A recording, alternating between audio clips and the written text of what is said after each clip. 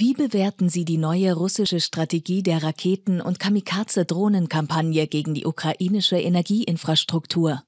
How do you evaluate the new Russian strategy of missile and kamikaze drone campaign against Ukrainian energy infrastructure? The, the targeting of uh, a nation's energy infrastructure during a time of war is a legitimate um, military target, even though it has dual use capabilities.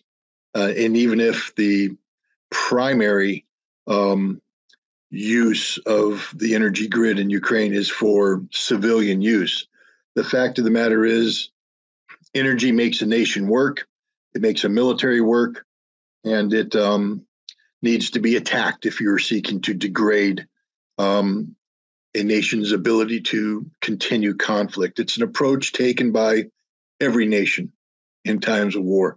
Uh, the United States led a international coalition in 1991 against Iraq, Operation Desert Storm. We initiated that um, conflict with a um, strategic air campaign that went on for six weeks. The very first target hit was the Iraqi energy grid.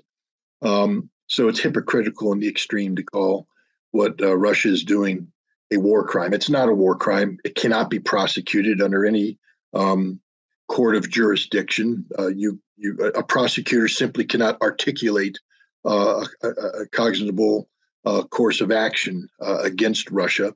Um, it's absurd to say otherwise, and I think it reflects the fact that Russia's hit a nerve. Um, this is something Russia should have done on day one. Uh, this war would be over by now had they done so. Um, and if Russia is seeking to bring an end to this conflict on terms that are acceptable to Russia, this is the only course of action Russia can take. Der Druck auf das ukrainische Oberkommando ist Berichten zufolge sehr hoch. Wer hat Ihrer Meinung nach das Sagen? The pressure on the Ukrainian military high command is reportedly very high. Who is calling the shots, in your opinion? Ukraine's uh, command structure is um, complex. Ostensibly, the commander in chief is the Ukrainian president. But um, his ability to stand alone is um, it's impossible. He, he cannot stand without the support of NATO, the United States, the European Union, um, and, and, and, the collective West, as uh, Vladimir Putin would call it. Uh, also, his relationship with the military is um, complicated as well. The military when they look at a campaign, they aren't looking at the politics, they're looking at how it relates to the accomplishment of military objectives. Meaning that if you're going to carry out an offensive operation, is it more important to destroy enemy combat capabilities or take territory? From the Zelensky perspective, at a time when there seemed to be some fatigue in the collective West about continuing this massive support of Ukraine. To what end? Was Ukraine ever going to be able to do something with this weaponry, et cetera? Um, and knowing that he was going to have to ask for many billions of dollars more in assistance, not just military assistance, but economic assistance to pay salaries to keep Ukraine functioning. Ukraine does not have a functioning economy at this point um, he would have to demonstrate that Ukraine can win on the battlefield. And so I think what we what we see is a is a blend of um, pressures being placed on Ukraine when it comes to uh, how the military operates on the battlefield, and these pressures resulted in an impressive political statement made by the Ukrainian military. We cannot under, um, you know, under emphasize um, the impressiveness of the Ukrainian operation in Kharkov. They took a lot of territory and they took it very fast. But when you remove the map from the equation, and if someone said, "Hey, uh, Ukraine just finished a a two week operation. They lost uh, 10 to 20,000 guys and they killed 200 Russians. Would you call that a Ukrainian victory? The answer is no. Um, or if I said Ukraine committed the totality of its uh, strategic reserve into a battle that failed to destroy the Russians. And now Ukraine has no more strategic reserve at a time when the Russians are building up their military capacity. Would this be a Ukrainian victory? However, what we can say is that because of the Ukrainian offensive, NATO and the United States have committed billions more to the Ukrainian effort. More weaponry is coming, more troops are going to be trained, and there's talk about providing Ukraine with billions of dollars of much needed economic assistance to keep the, the, the, country afloat. So it's a mixed bag. On the one hand, without this offensive, would Ukraine have received this level of support? I think the answer is yes, but it would be difficult to sustain this down the road. Um, so Ukraine is securing its future by sacrificing its troops at the battlefield. But from a military perspective, this is extremely, extremely risky because while one cannot predict the future, um, the Russians um, still have to convince people that they are capable of competence on the battlefield. Uh, the Russian performance has not been stellar. It hasn't been as bad as some people are making it out to be, but there have been many mistakes from the strategic level on down. And um, I, I think people would have a right to say, well, are the Russians really going to be able to finish the job, or are they just building these troops up for more lethargy? Um, but if Russia is as good as some analysts think, I think, I personally think they are this good, um, then Ukraine's in a lot of trouble because they've weakened themselves. They've uh, basically burned through their reserves, and they don't have a guarantee that more reserves are going to come in a timely fashion. So I think in this one, the the, the different pressures being put on Zelensky um, is actually bad, and the fact that Zelensky felt that he needed to sacrifice his strategic reserve to appease a um, a West that eight months into the war is no longer viewed as a guaranteed source of support uh, shows some um, fundamental weaknesses in the Ukrainian way of doing business. Die deutsche Außenministerin Annalena Baerbock forderte die Lieferung von Leopard 2 Panzern an die Ukraine und behauptet sogar, dass Waffenlieferungen Leben retten würden. Was halten Sie von solchen Erklärungen führender Politiker und welche Auswirkungen könnten die Leopard 2 Panzer auf dem Schlachtfeld haben? German Foreign Minister Annalena Baerbock called for the delivery of Leopard 2 tanks to Ukraine and even claims that arms deliveries would save lives. How do you see such explanations from leading politicians and what kind of impact could the Leopard 2 tanks have on the battlefield? I have to be careful what I say because I don't want to insult anybody. Um, the Leopard is a good tank. There's no doubt about that it's not the best take in the world. So the idea that you could take a tank and put it on a battlefield and suddenly expect a different outcome than that which is already taking place, it's that's something that can only exist in the minds of amateurs, people who know nothing of war. And frankly speaking, the Green Party of Germany, they know nothing of war. And the German foreign minister knows nothing of war. Uh, they should. They've been watching war taking place for eight months now uh, in Europe. It's a war where um, I, I, think it's it's clear that uh, technology alone doesn't carry the day. Uh, technology will only get you so far. Now, if these Greens and your foreign minister can explain how you're going to take a very technically advanced piece of equipment like the Leopard tank. And I think they're also asking for the Marder infantry fighting vehicle as well, basically to take German technology and transfer it to Ukraine. Question for the Green Party How often does the Leopard 2 tank break down under the normal course of operations? What's the maintenance schedule for a Leopard 2 tank? Because before you send it to Ukraine, you might want to be able to answer that question. Um, how many spare parts do you need?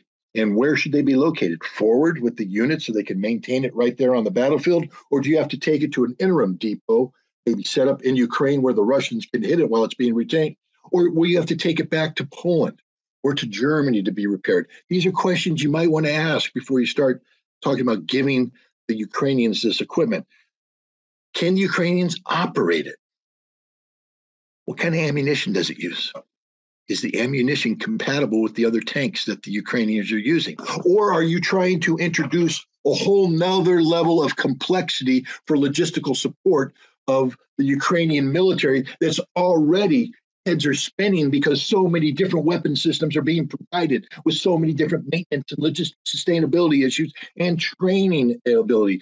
If you give them a piece of equipment that breaks down, is difficult to sustain logistically, and is more complicated to operate than, say, the T 72 tank, saving lives, you're slaughtering Ukrainian soldiers. You're idiots. You're the kind of people that should be dismissed from government forever. It is brain dead to think that by giving the Ukrainian military this equipment in, in a time of war where they don't have the time and space necessary to absorb it in its totality, not just driving a tank, but having all the sustainability issues around it and the level of proficiency to use it in combat. This isn't about driving around a training ground.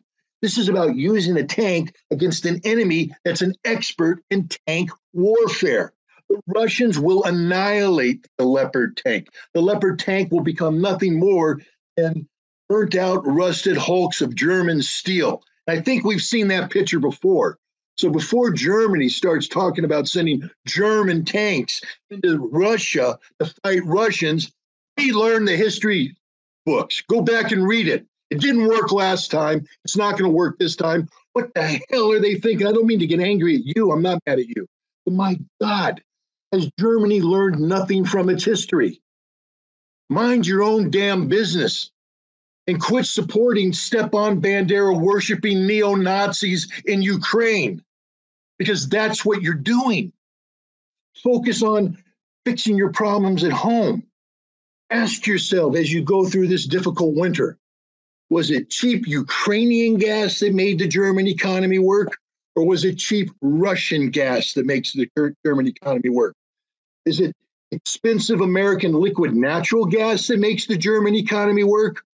Or was it cheap Russian gas that makes the German economy work? And then ask yourself again, why have you foregone everything that made you succeed as a nation these last couple decades and thrown it away for what? So the Green Party can say they provided the Ukrainians with Leopard tanks when all you're doing is giving German weaponry to Nazis?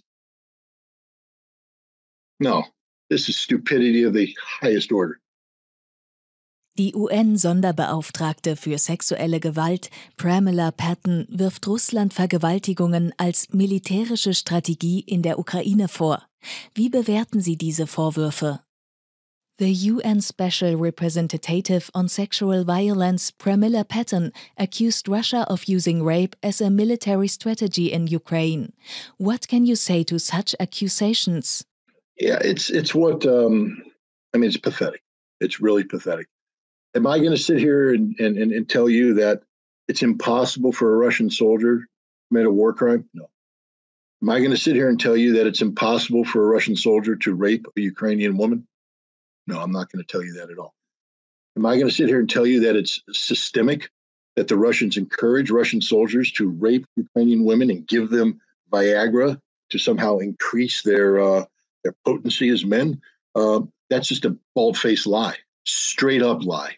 There's no evidence to back it up whatsoever. In fact, we know that it's a lie. We had a Ukrainian official, some human rights lady, who was out there talking over and over again about rape, rape, rape, rape, rape, rape, all lies. Even the Ukrainian government, which sells lies for a living, had to fire her because she was so ridiculous. Russians are carrying out a special military operation in Ukraine. It's war. It's horrible. Tens of thousands of people have lost their lives, and more are condemned to death in a war that should have been fought. I'm not sitting here trying to make this out to be some sort of uh, you know, dance in the flowers. It's not. It's war. It's horrible. You can't make anything good from it. But you have to respect the fact that the Russians have bent over backwards to minimize the harm done to the Ukrainian citizens. Why, would you ask, would they do this? Because the Russians do believe that Ukrainians and Russians are of one people. They may not be the same people, but they're the Slavic people. They're brothers. You scratch a Ukrainian, you get a Russian. You scratch a Russian, you get a Ukrainian.